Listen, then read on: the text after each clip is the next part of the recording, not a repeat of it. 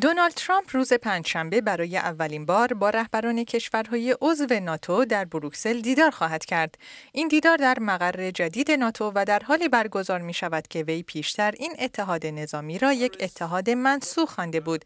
یکی از مهمترین موضوعاتی که در این دیدار مورد بحث قرار خواهد گرفت مبارزه با تروریسم است.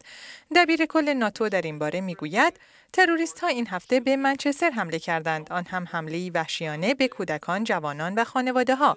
به همین دلیل یکی از دو موضوع اصلی که ما روز پنجشنبه درباره آن صحبت می کنیم این است که ناتو چگونه می تواند با تلاشهایش در راه مبارزه با تروریسم گام بردارد.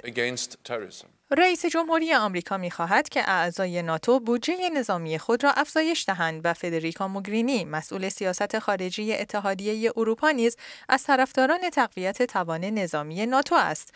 او روز چهارشنبه در این باره گفت یک اتحاد اروپایی قدرتمندتر در موضوعات دفاعی و امنیتی ناتو را قوی تر خواهد کرد و یک ناتوی قوی هم برای اروپایی ها و هم برای آمریکایی ها یک عامل کلیدی است.